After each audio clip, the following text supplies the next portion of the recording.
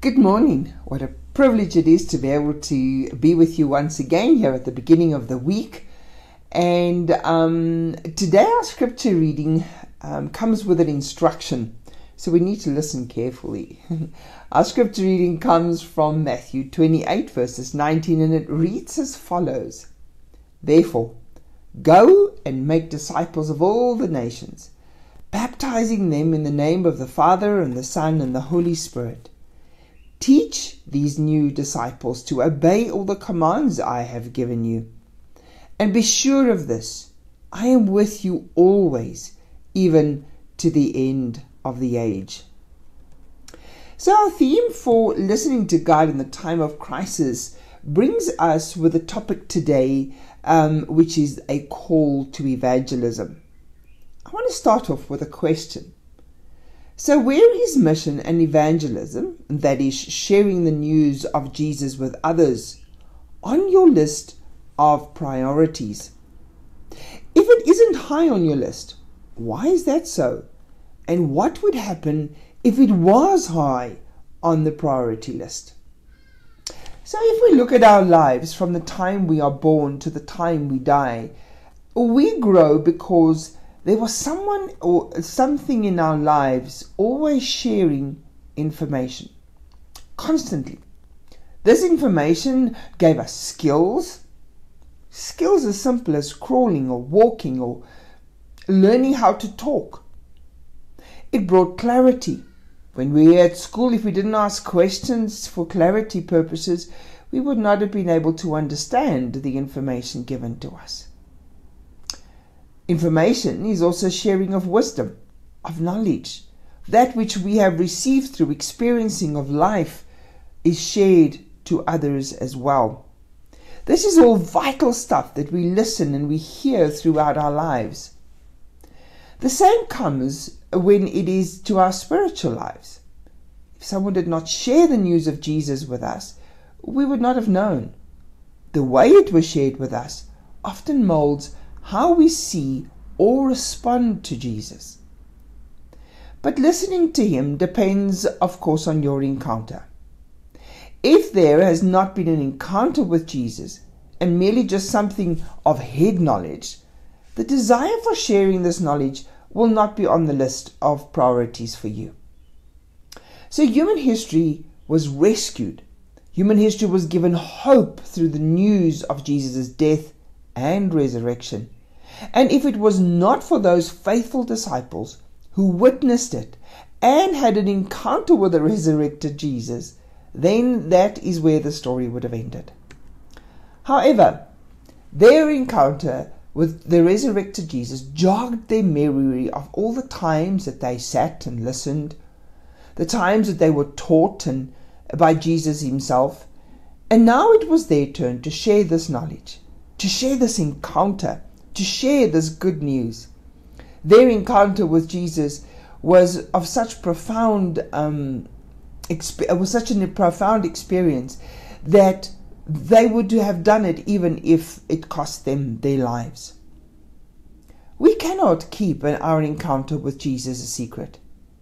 It is for all to hear. It is our responsibility to share the good news of Jesus with others. You would not have heard it if you were not told in the first place. Information sharing is one thing, but when we share information with passion, with, with a drive, and especially experience of encountering the information, being Jesus Christ, it is then that it becomes evangelism, ignited by the power of the Holy Spirit. Evangelism shared, the good news shared, is part of listening to God in the time of crisis because it brings hope and an indescribable joy, no matter what the circumstances are. The world out there is hurting, it is hungry, it's looking for information, it is looking for places of hope. And of course, the world is dying because the information that they are getting is not life giving. They need to hear the best news ever. Paul said in Galatians 2 verses 20 that when he discovered that the Son of God loved him so much and gave himself for him, that was when everything changed. He could not keep it to himself, and he wanted everyone to know that Jesus loves them. He wanted everybody like you and, and me. Paul himself needed to know that Jesus loved him because it was and remains a life changing experience. God given piece of information that needs to be shared. It's not something that we need, want or should be keeping for ourselves. As people search for the purpose of life, the only information that will make the difference is when we share Christ's news with them. The Holy Spirit prepares us to receive this good news, and if we tell others, if we do as we are asked, if we listen to the call to make disciples, this crucial information will come and change lives. When we were young and we were taught how to walk or talk, how to eat, what is right and wrong, this shaped us to be the best humans we can be. But until life is experienced through the good news of Jesus Christ, nothing makes sense. Nothing has purpose. Let us become the disciples we are called to be. I know that that is a call upon each and every Christian's life, and it is something that we promote because it is what we are called to do. God will prepare the hearts that we are given, and He will prepare the ears to listen. We need to share this news. We need to share this gift that we have been given in order to give others lives and in their lives an opportunity to be transformed through the work of God.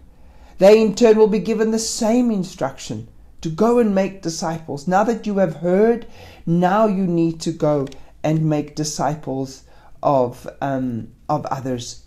So Matthew 28 verses 19 says, "Teach these new disciples." Why should we teach new disciples? Well, we were new disciples, and that instruction was given to us so that we can pass it on to others. May the good news of Jesus Christ, the risen Christ, be upon our lips at every opportunity to allow others to have a changed and transformed life. Come, let us pray. Heavenly Father, as you place this call upon our lives, it is not empty, it has purpose.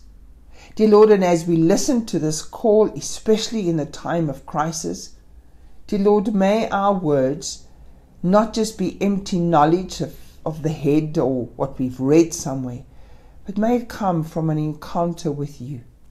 As we encounter you in each and every day, as we listen to your voice, as we listen to your guidance, as we listen to your love, as we listen to the Holy Spirit, continually confirming us as your children, dear Lord, may we, may our hearts burn for that call to evangelism to tell others about the same good news. Share, dear Lord, not only in words, but in passion, dear Lord, as we share the encounter we have had with Christ, so that others may desire that same encounter. In Jesus' name we pray. Amen. Go and be disciples. We have been called, it has been our command that has been given to us to go and make disciples. And as we do that, so we share the news of Jesus Christ, the risen Lord. Have a good week.